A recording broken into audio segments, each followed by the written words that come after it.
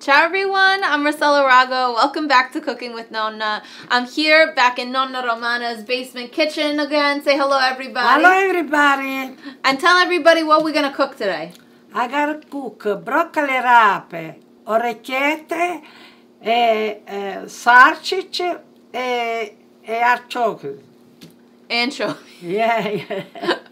It's very good. I It's love this good. plate. Yeah, very, everybody love this. Everybody. So I uh, this is a really requested video and I've been really excited to make it for you guys. This is orecchiette with broccoli rabe and sausage, the Italian American style. So very very important because there are differences. Now in the first Cooking with Nonna cookbook we did just the plain orecchiette with broccoli rabe, a little sautéed anchovy. This is the Italian American version and there are a few differences. Uh, the key difference though is that we include sausage. So uh, if you guys are familiar with the region of Puglia, this is actually the most famous dish in the entire region of Puglia, Italy, where our family is from.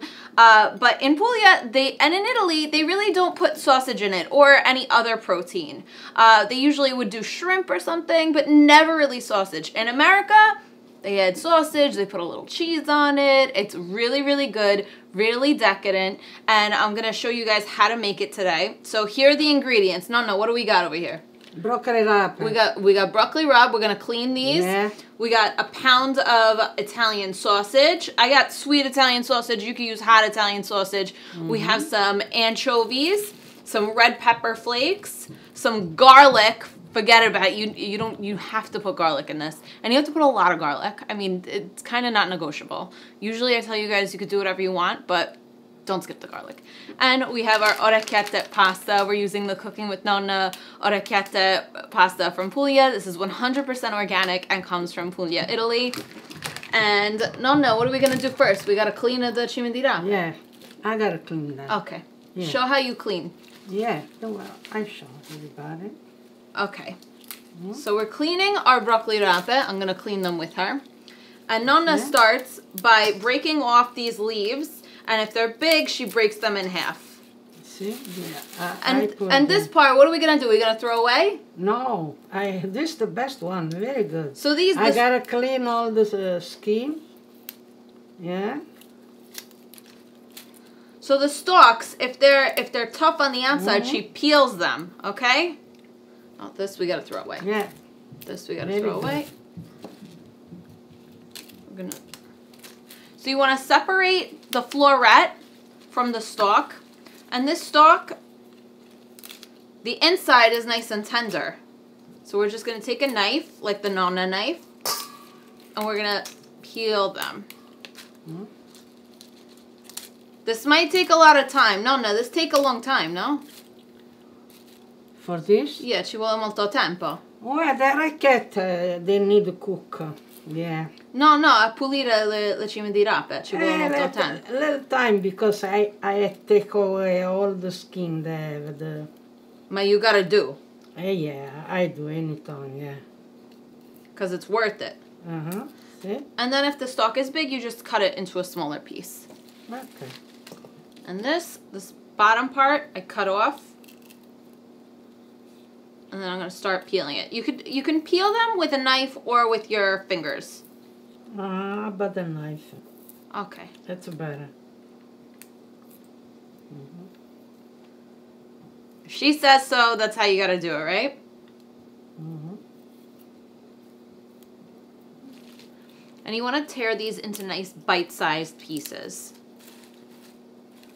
Except the florets, those will break down nicely. Is that one okay? Oh, the last stem. The last part. What about we throw this away? No. Why? Eh, why I gotta throw it? I got clean. Okay, when I look in the dish, I'm gonna see this one. I'm gonna remember this one. Okay, so this is all the stuff that we removed from the broccoli rabe. This we're gonna throw away, right? This this Sure. we can throw away. This is okay. Yeah. Okay. This you gotta wash. This we're gonna wash. So the way you wash them is really simple. Nonna fills up this bowl three times with cold water and then just rinses them out. So she fills it up, pours it out, fills it up, pours it out, fills it up, pours it out. Uh, we're gonna wash these and then we're gonna go back there and we're gonna make our orecchiette with broccoli rabe and sausage. Okay, so now we're ready to make our pasta. Now, what I'm gonna do is I'm gonna take my sausage here. I'm gonna pour my extra virgin olive oil in the pan, not too much. And while that's getting hot, I'm gonna take my fork and I'm going to poke my my sausage links a little bit. And this is so the fat releases into the pan and, and I'm going to show you guys why I do that. There's a method to my madness over here. Give them all a poke. Okay. Now once our oil's hot, I'm going to add the sausages to the pan. And we want to get a nice sear on them.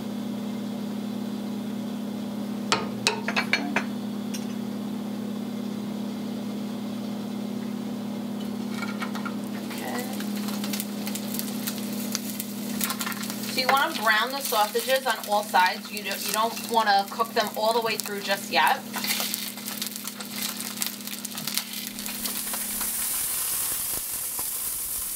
So the sausage is almost there. I want to get like this color all the way around on them and then I'll be happy. I'll be satisfied. So those little pricks that we made with the fork are really helping the fat come out and render.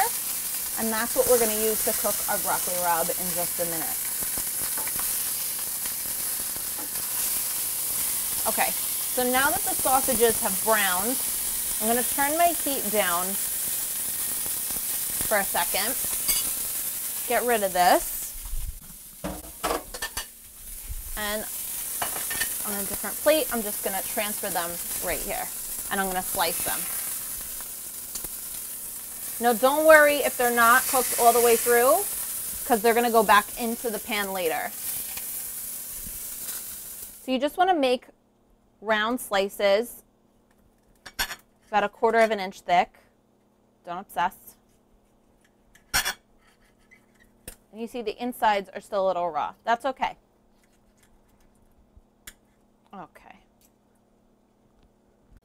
So now we're just going to let this hang out. And in the pan, I'm going to turn my heat back up to medium. And I'm going to add another drop of extra virgin olive oil. If the pan looks dry, you add a little oil. If it doesn't, you don't have to. So once this gets nice and hot again, I'm to go in with my anchovies, my garlic, and my red pepper flakes. Guys, do not be afraid of the anchovies in this dish. It's so good. These are to melt down. So if you have someone that is not jazzed about anchovies, just lie to them. Tell them they're not in there because they're not to really be able to taste anchovies. They're just to taste like, hmm, what is that? Beautiful. Last garlic goes in there. They're really going to just liquefy. It's amazing. And my red pepper flakes.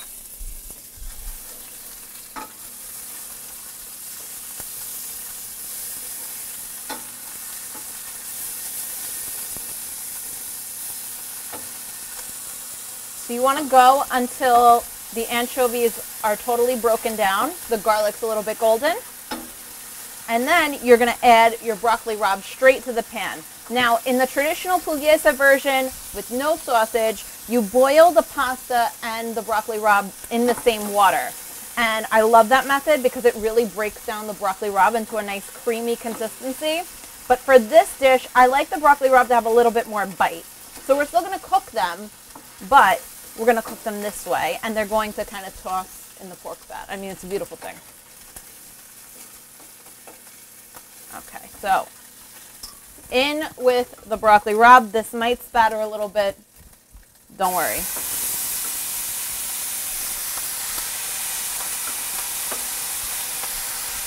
And don't be alarmed, these are going to cook down.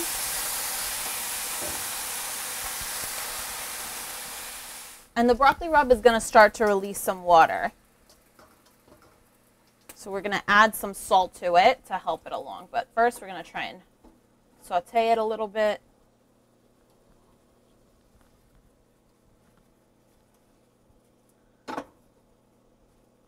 Make sure it gets a nice coating in all that sausage fat. So good. Okay. Grab some salt.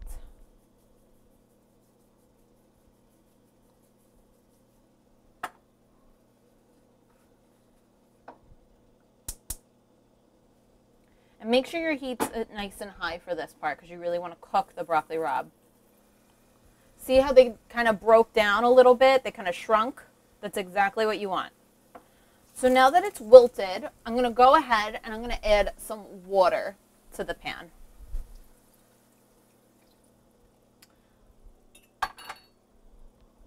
Okay, so once you add the water, you're just going to keep your heat nice and high and you're going to let this go for about 10 minutes. Now, if you want your broccoli rabe softer, you can cover it and leave it at medium heat for 10 minutes, and that will steam them a little bit more. But I like my broccoli rabe in this dish to have a little bit of bite. Okay, while the broccoli rabe cooks, I'm to cook the pasta.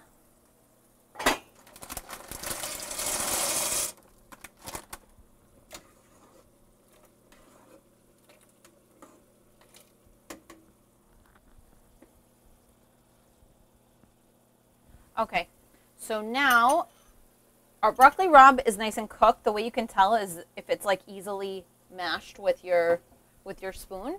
And now we're ready to add the sausage back in. So you want to add in the sausage along with any juices that have collected on the plate. And you're going to toss that in. And you're just going to cook this till the sausage is cooked through, so until it's not pink in the middle anymore. Now that it's in small pieces, it cooks pretty fast.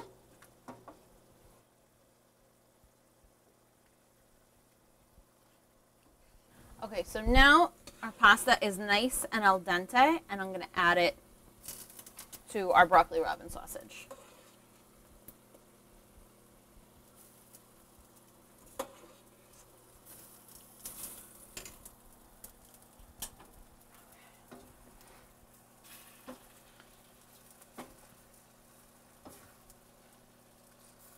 So now you want to toss this together so all the flavors get a chance to marry.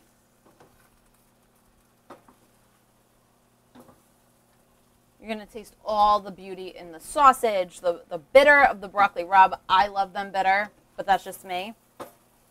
And then my secret ingredient at the very end is going to tie it all together.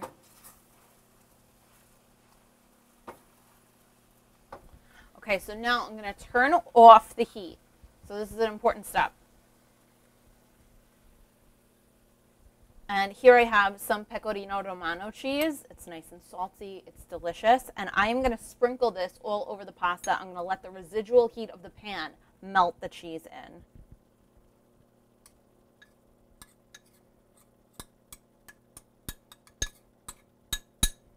This is so good. This is going to kind of create a sauce.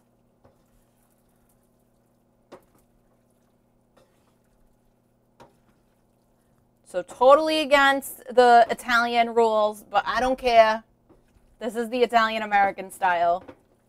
This is what kind of separates it from the way they eat it in Italy. This is totally, I'm breaking the rules. I'm breaking all the rules right now. This is like not okay. I know all the Italian professors are going to come for me, but if liking this pasta with cheese on it is wrong, I don't want to be right. So save your breath. Okay. Look at how delicious that looks. Oh my goodness. It really makes it. And like, I love that the broccoli rabe kind of start to break down a little bit, but they still have bite to them. Totally different than the original uh, method without sausage, right? And then that cheese just makes a gorgeous little kind of sauce. Oh my God, this is so, so good. I bet Nonna wants to taste this. So we'll see you guys at the table and we're going to taste it. Okay, Nonna, you ready to eat? Yeah. I can't wait no it looks good, right? Yeah, they look good. This is seriously Nonna's favorite dish. Nonna, you like better with the sausage or with no sausage? No, I like it better about the sausage. Sausage. Yeah. So now you're American. No. Okay. So so good. Okay, we got a taste now. Yeah. Mm. Oh my gosh, so good. Mm. Very good.